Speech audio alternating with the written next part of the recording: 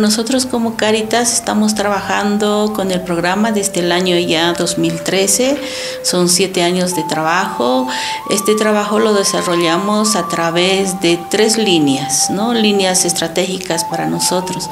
La primera línea es el de la incidencia social, que lo trabajamos a través del protagonismo de las personas adultas mayores, donde promovemos el ejercicio de derechos y también, que es lo más importante, incidir ante instancias públicas.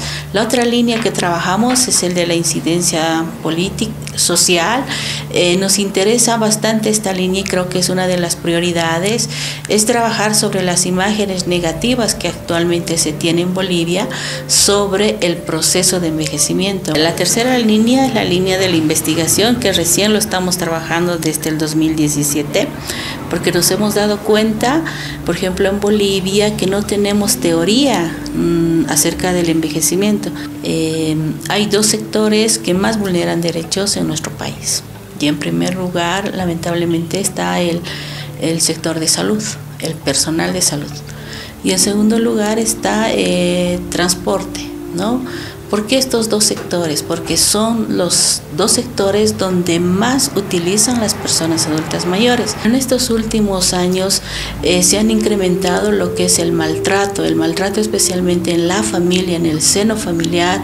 Eh, hemos visto no solamente por los medios de comunicación, sino en los encuentros, en las reuniones que tenemos con los adultos mayores, este maltrato eh, que está llegando ya a extremos, ya al maltrato físico y en relación a eso el tema del despojo de tierras en las áreas rurales más que todo.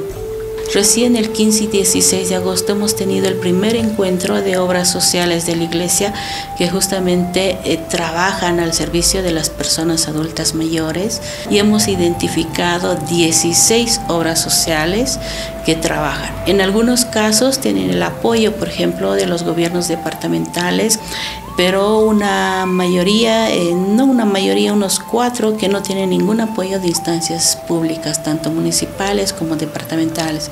Entonces ahí hemos identificado 10 problemas de los hogares que tienen la, la iglesia y en función a estas, a estas dificultades, como equipo técnico que somos cinco, hemos hecho una propuesta para un poco apoyar también este trabajo que hacen las obras sociales de la iglesia en materia de incidencia política, es importante eh, estar en un relacionamiento creo que de respeto y de respeto a la dignidad de la persona.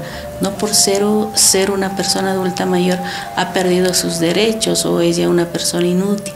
Si nosotros nos tratamos entre nosotros y tratamos a las personas adultas mayores con respeto y valoramos su experiencia y sobre todo la sabiduría de vida que tienen en esos largos años, de seguro que vamos a aprender mucho.